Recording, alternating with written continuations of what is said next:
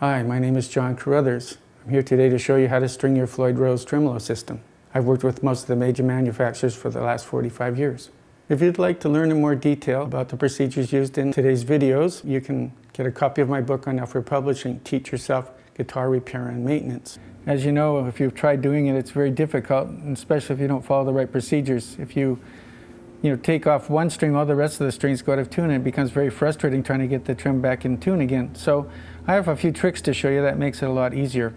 So step one, before you do anything, get something like an eraser or perhaps a piece of wine cork, something like that, that you can put under the back of the tremolo. So we basically push down on the arm, we insert this under the trem, and now that stabilizes the tremolo so that even if I remove the strings, all the rest of the strings will stay relatively in tune.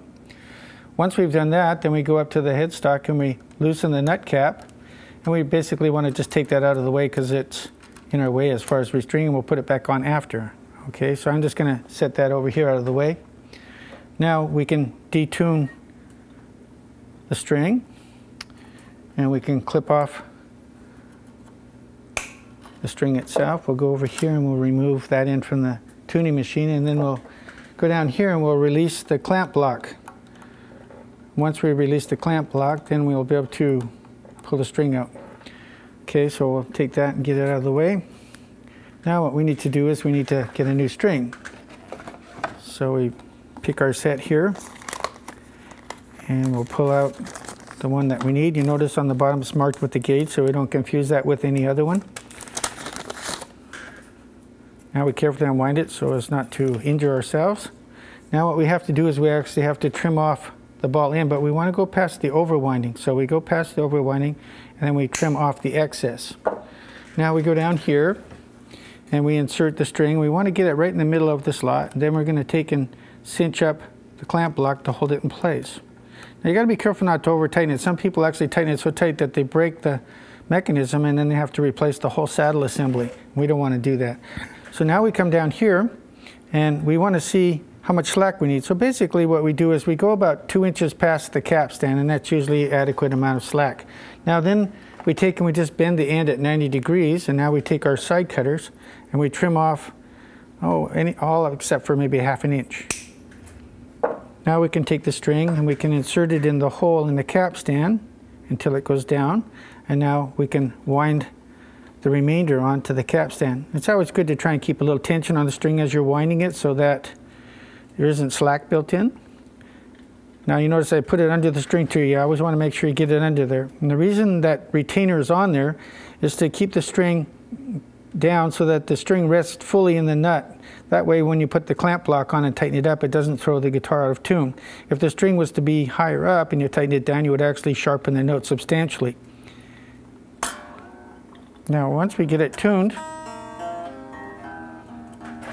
we can take the eraser out. Now listen to it.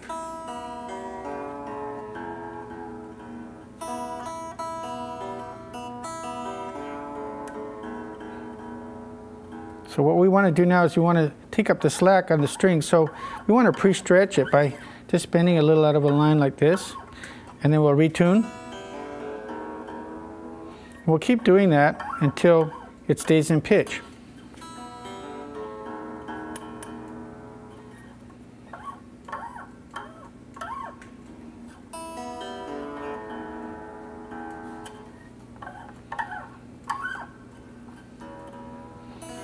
Now on the fine tuners back here, you want to back them out if they're all the way down. If they're too far up, then you'll run out of adjustment in the other direction. So you need to have just a little bit at the top, but you need most of it at the bottom because as you play, the strings tend to get flat and you need to be able to adjust the tuner to sharpen them back to pitch.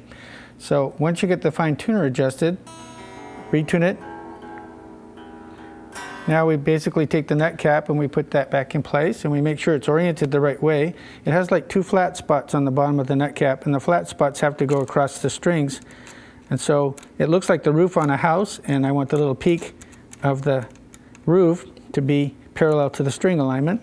And then once we get that in place, we carefully cinch that up. Again, don't get too crazy with the wrench, just kind of cinch it up till it's firm. You could actually strip out the threads if you over tighten it.